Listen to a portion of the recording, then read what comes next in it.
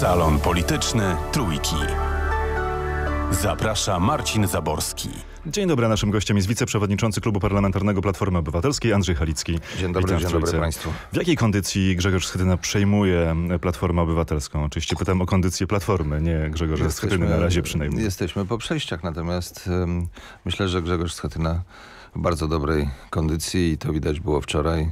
E, bardzo dobry klub, ten wyjazdowy, taki mobilizujący i, z bardzo otwartą e, rozmową, ale przede wszystkim energia po to, by ruszyć w teren, by ruszyć e, i rozmawiać z Polakami o tym, co się dzieje, co powinno się dziać, albo do czego nie można dopuścić. No. Myślę, że to będzie główne nasze zadanie na najbliższe miesiące. I o tym rozmawialiśmy. Rozmawialiśmy o obecności Platformy w życiu publicznym, na dole, lokalnie, w gminach, powiatach. No tej energii troszkę chyba nie było widać w samym głosowaniu, w wyborach szefa e, Platformy Obywatelskiej, Dlaczego? no bo zagłosowało 8,5 tysiąca członków partii, frekwencja na poziomie 52%.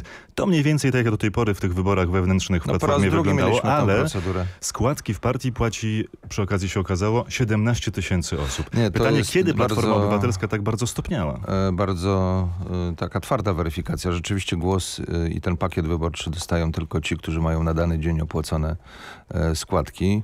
Więc wielu rzeczywiście członków Platformy nie wzięło udziału z tego punktu widzenia formalnego udziału w głosowaniu. No prawe wybory dosyć- 2010 uprawnionych było 46 tysięcy członków Platformy. Wyboru szefa PO 2013 uprawnionych około 42 tysięcy. Czyli jeśli z 42 tysięcy członków spada do Tak, to 17 jest- to tysięcy jest- w ciągu dwóch lat, to jest jednak zasadniczy Ale myślę, że to jest też ten e- e- efekt e, powyborczy pewnego takiego dystansu samych do siebie. I jeżeli mówimy o tych kilkunastu tysiącach uprawnionych, to ta frekwencja w głosowaniu również była podobna do tej pierwszej tury, bo, do tej pierwszej mm, e, wy, do tych pierwszych wyborów. W w których 2013, Donald- tak, wtedy których Donald- było 51% uprawnionych głosujących, tyle, że z Chyba w 42 tysięcy. no. 2012, ale w każdym razie y, wtedy podobnie to wyglądało. To są mniej więcej podobne proporcje. Natomiast jeżeli chodzi o te 91%, no to silny mandat, dlatego że y, no mieliśmy kandydatów, którzy się po drodze wycofali. Tomek Siemoniak wycofał się w takim już momencie, kiedy to głosowanie właściwie trwało.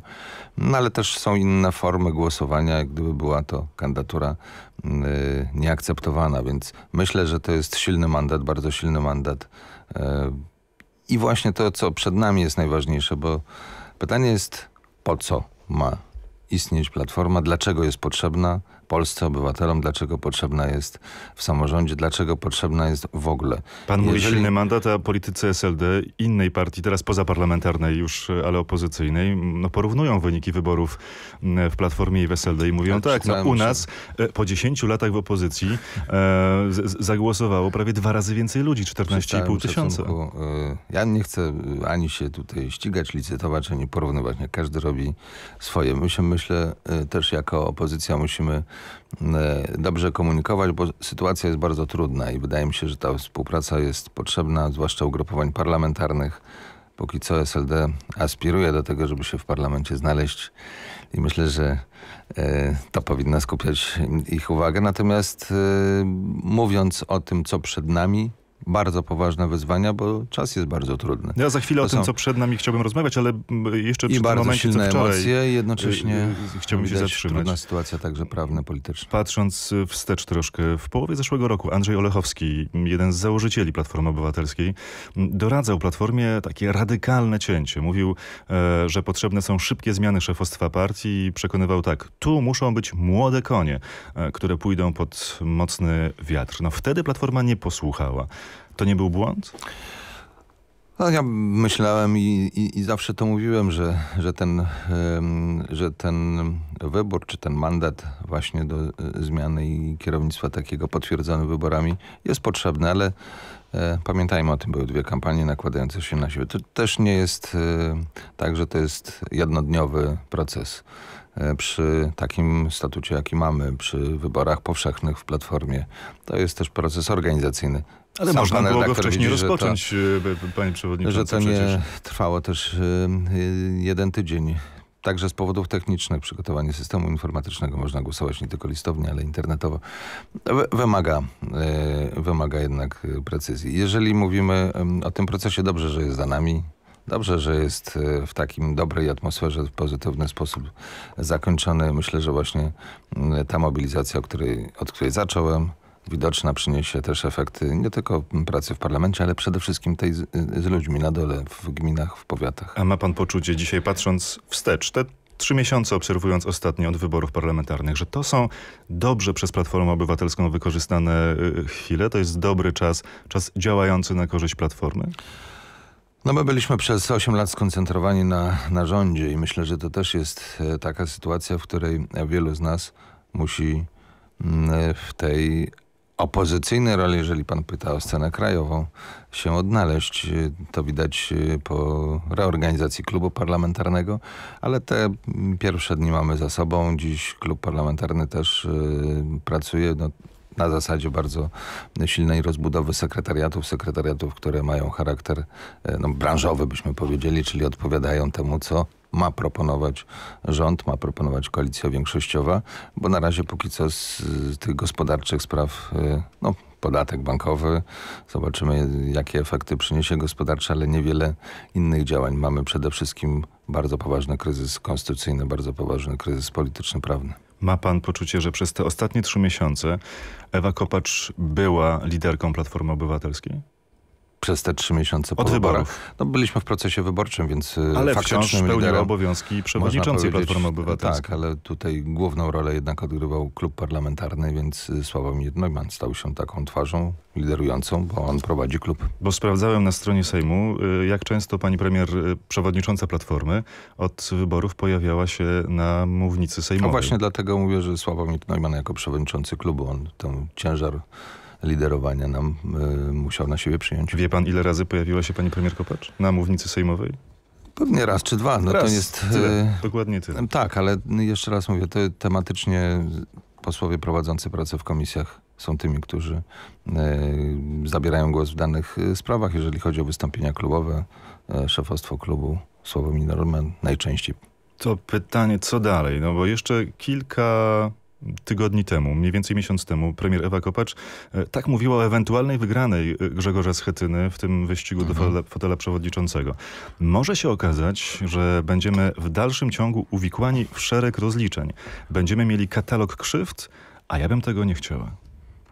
Jeżeli mówimy o sytuacji wewnętrznej, uspokajam, e, atmosfera bardzo dobra i zespołowa i to jest chyba najważniejsze. I myślę, że także w słowach pani premier wczoraj ważne było to zdanie, że idziemy razem, obok siebie, e, z Grzegorzem Schetyną jako liderem, ale jesteśmy razem i właśnie tą drużynowość, tą zespołowość e, również podkreślała i podkreślamy. I To rozliczenia, ważne, rozliczenia są niepotrzebne dzisiaj w Platformie Potrzebne są e, nowe twarze, o które pan zapytał. Potrzebna jest energia. Potrzebna jest, e, potrzebne są in, takie inicjatywy, które rzeczywiście będą oczekiwane także przez Polaków, bo najważniejsza jest gospodarka wbrew tym emocjom, które towarzyszą no, takiej y, trochę politycznej kłótni, a prawnym sporze, który nie dla wszystkich jest zrozumiały. Najistotniejsze to jest to, co odczujemy po działaniach gospodarczych rządu, a proszę zauważyć, jak jak staniała złotówka, jakie ma to implikacje również dla nas, dla realnych zarobków, dla realnych e, cen i myślę, że to jest dopiero niestety początek e, tego prawdziwego psucia dobrej gospodarki, którą zostawiliśmy po 8 latach. Po 8 latach Polska cały czas w, e, w etapie wzrostu gospodarczego budowała swoją reputację właśnie jako kraju bardzo stabilnego i bardzo dobrego również e, z powodów gospodarczych, z dobrą perspektywą. Dziś wie pan, że ta perspektywa ulega zmianie, jeżeli chodzi o cenę No i tu, inwestorów. tu Grzegorz Schetyna zapowiada, że Platforma będzie poważną i twardą, ale nie telewizyjną, e, nie, nie tylko telewizyjną opozycją. E, Do tej pory Platforma, Platforma była poważną i twardą opozycją? Jesteśmy nią, tak, to, to nie ulega wątpliwości. To co Mamy bardzo zmieni? duży klub, natomiast y, jeszcze raz y, podkreślę to, że jesteśmy i odpowiedzialni i jesteśmy, y, no nie jesteśmy ugrupowaniem nihilistycznym. Znaczy nie chodzi o to, żeby być za wszelką cenę na nie, tylko trzeba rozmawiać o tym, co jest istotne i jakie ma skutki, jakie To co przynosi zmieni? Co, efekty. co to znaczy, że Platforma będzie I poważną i, z twardą tym opozycją dalej? Myślę, że to jest też taki wyróżnik, który dotyczy no, nas, będących w opozycji w ogóle. I to myślę, że miał też Grzegorz Schetyna na myśli.